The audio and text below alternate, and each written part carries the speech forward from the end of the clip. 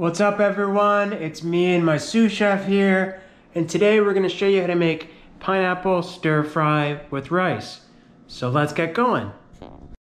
Alright, so this can be kind of a fridge meal. You don't really need to be too crazy about it. Um, but I work at a farmer's market. My kitchen is at a farmer's market, so I have a lot of access to some very nice produce. Um, so I always have nice stuff in my fridge right now. So we have some nice uh, heirloom carrots that we're gonna use. We're gonna use a nice summer zucchini squash and a red bell pepper.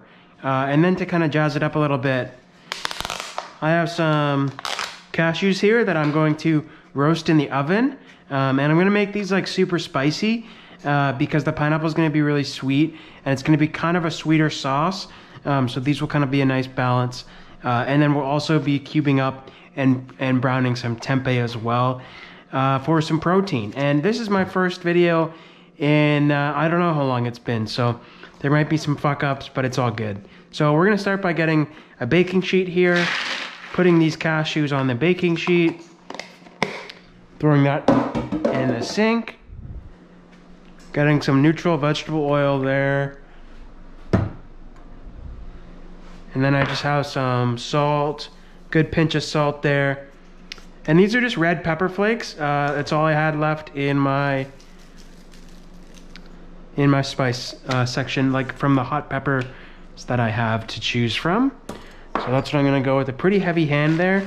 And I'm just gonna kind of kind of mix this in.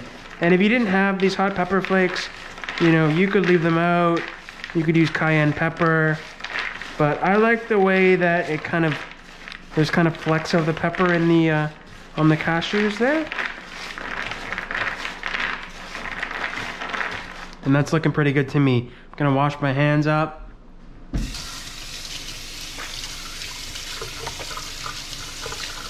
And excuse the uh, the multiple contraptions that I have going on. There's a real fruit fly problem. So we have one here, we have two over there, and we have one to the right of our dish area.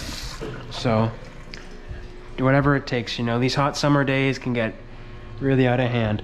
So, gonna pop these in the oven for about 10 minutes, five, 10 minutes at 400. I'm gonna put a timer on so I don't forget. I'm do five minutes, see where we're at. All right, so now I'm gonna get started on the tempeh here. So I'm just gonna get my knife here. And this is a package of plain uh, plain tempeh. You can get all different kinds at the store. But uh, what this is, this is essentially soybeans that they ferment into this cake, this square cake essentially. And, uh, and yeah, they ferment it. So a lot of people have soy issues. So this is good because it's already been fermented, the soybeans. So, you know, when you eat it, it's broken down already a little bit, so you don't need to really worry about if you deal with uh, bloating or gas when you eat soy. This is uh, this will kind of erase that. So I'm just gonna cube these up into a little little bite-sized pieces here. I'm just gonna cut up the whole brick. I like to do everything kind of at once. Kind of saves you some time. And then I'm just gonna get my cast iron here preheating. You don't have to use it. So I got two bowls here. One bowl is gonna be for vegetable scraps, uh, and one bowl is gonna be for the, uh, the vegetables. It doesn't really matter the vegetables that you use. Um, I like to use whatever I have in my fridge. It's a great way to use stuff up. Just gonna cut the ends of these carrots off, put them in my compost scrap bowl, and then I'm just gonna wash everything real quick. Even I, even though I am buying stuff like pretty, or all this stuff is organic and like very, like literally made down the street, or grown down the street, I should say. It's still important to to wash your vegetables because you know you never know who's uh who's touching your stuff. All right, so yeah, with all this stuff here, it's important to uh, cut everything the same size. So I'm just using this purple carrot because it looks really beautiful inside with that nice yellow fleck. We're just gonna cube this up here.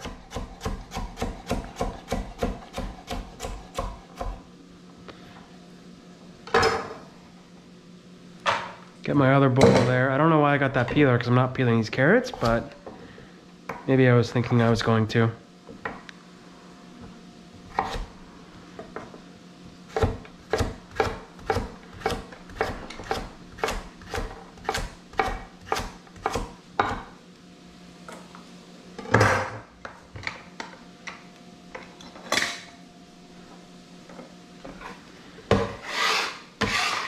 And yeah, if you don't like carrots, you could swap these out for like, I don't know, literally anything. Broccoli would be nice.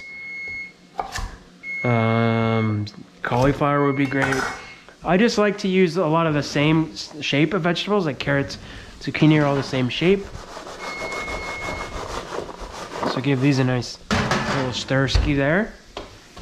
Do another, I don't know, three minutes on that cut these, go back to these carrots.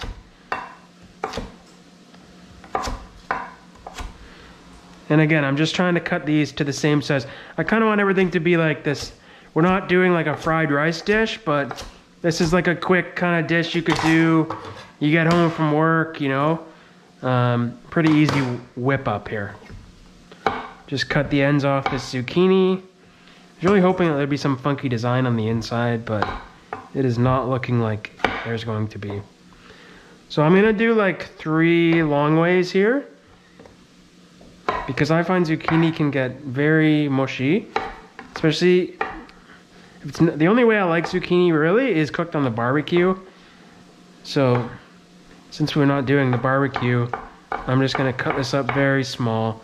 And that's a great tip, like, you know, if you don't like a vegetable, just cut it up really small so you won't even notice it and then gradually start to incorporate it more into different dishes and then it will start to grow on you. Oh, already cut that one. Zucchini is very uh, satisfying to chop though. It's uh, it's very soft. So now with the bell pepper here, we'll just go top and tail on the bottom there.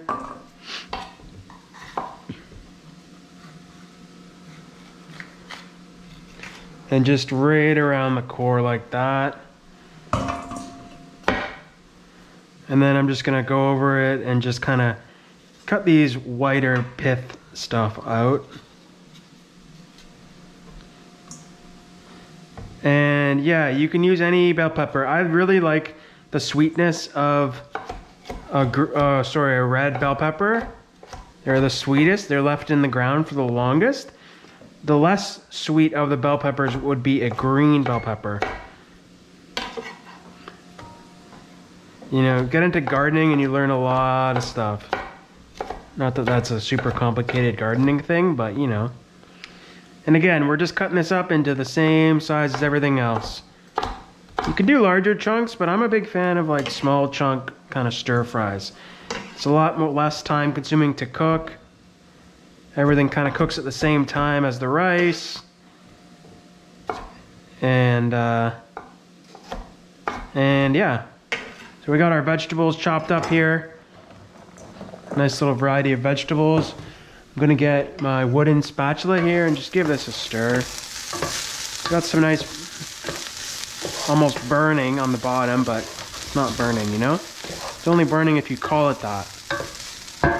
I'm gonna give a nice little glug of vegetable oil in here. Just to promote crisping up. And check on these cashews here. They're looking pretty banging to me. So they've definitely changed color. They've gotten a little bit darker. I wouldn't want to take them any farther than that or else they would start to burn. So we're just gonna set those aside.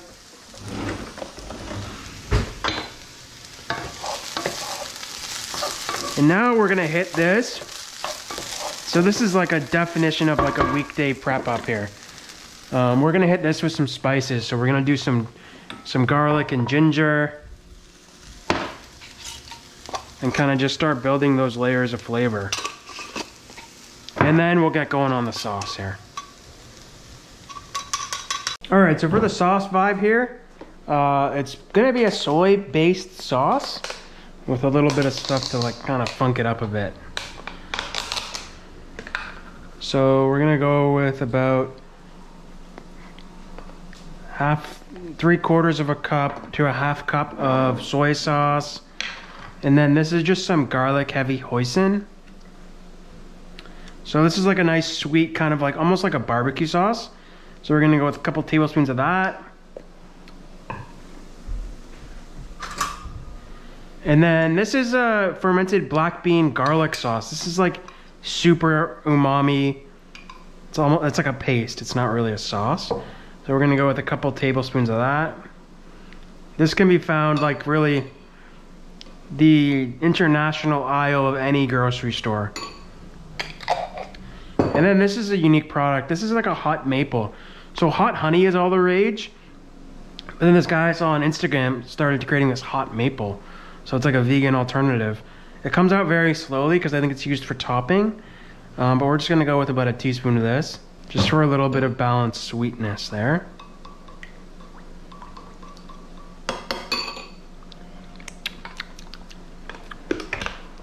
Mmm, pretty, pretty good. Just gonna put that all that the stuff back in the fridge.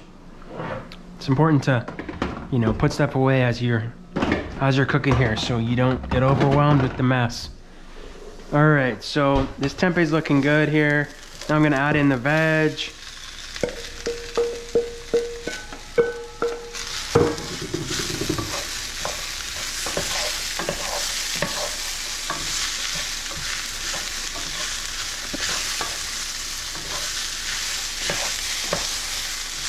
And again, I cut everything very small, so it's not gonna take a long time to cook.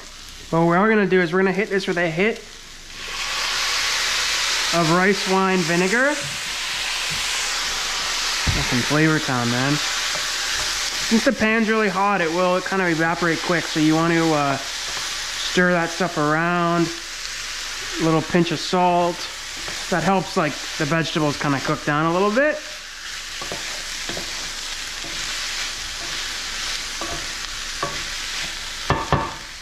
All right. And then we're gonna get our last ingredient here, the pineapple. So this is just canned rings of pineapple, nothing fancy.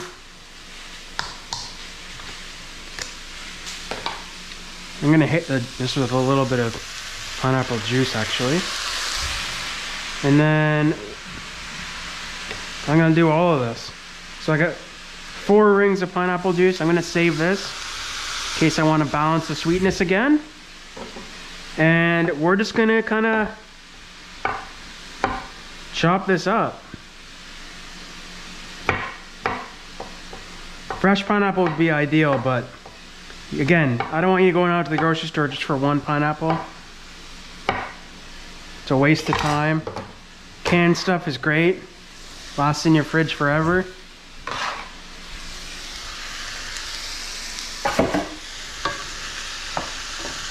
Stir that in. This is looking pretty banging. The cool, cool thing about cutting the tempeh that small is just by naturally stirring it, it starts to almost crumble like, like a ground pork or a ground beef.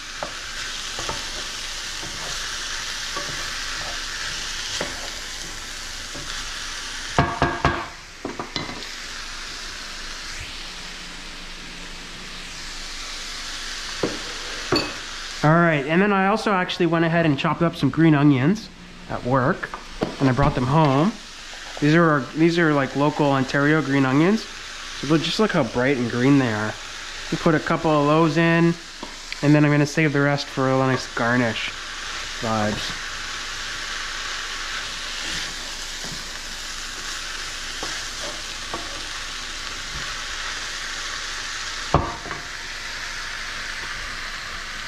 What I'm gonna do with these cashews actually, is I'm gonna move them to a different bowl so they stop cooking.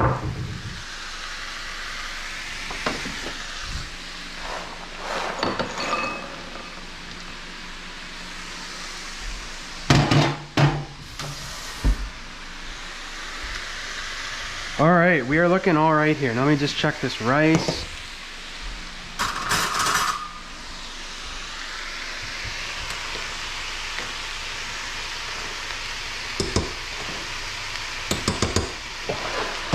Just fork that a little bit, let it vibe out on the side.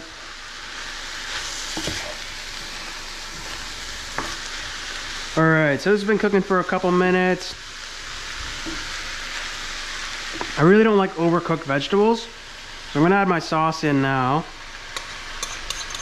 Make sure you, that, that fermented black bean paste loves to sit, hang out at the bottom, so make sure you scrape all that in.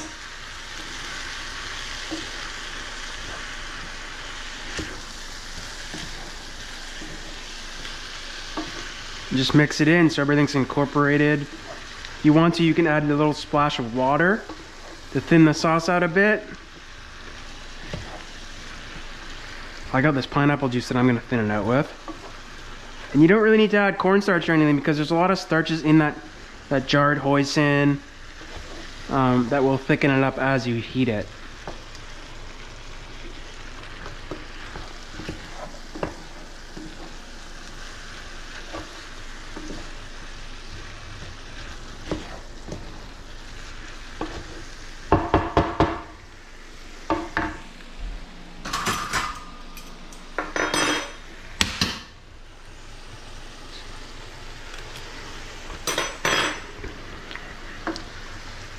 Mmm.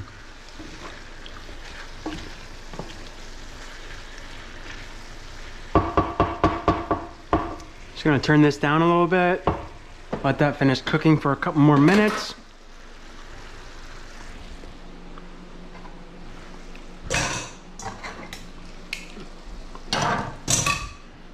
See, that's all the compost we had for an entire dinner. That's not bad, right?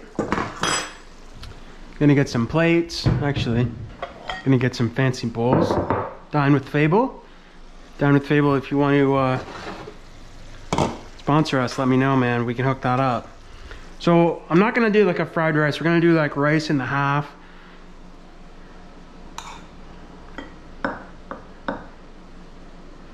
Kind of like this, you know?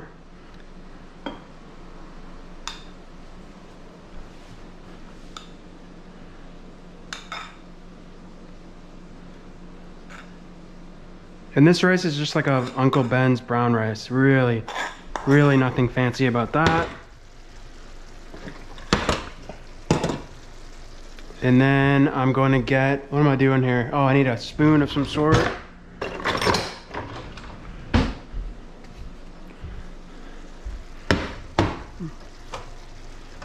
And I'm just gonna plate it up, man. This was a quick whip up. I think this took 10 minutes. I guess we'll see in the video length, but just so colorful.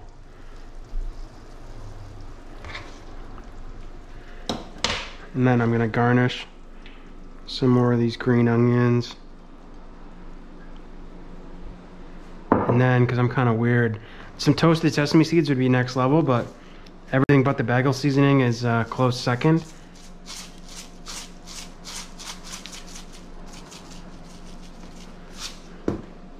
And there you have it. Pineapple stir fry with ground tempeh and brown rice. 10 out of 10. Let me know if you want to see what you want to see next. We're going to try and do a video a week here. Uh, maybe a video a month realistically. But uh, thanks for tuning in. Let me know if you post this. If you make this recipe, uh, let me know and uh, tag me in a photo, post it online. I'd love to see it. See you around.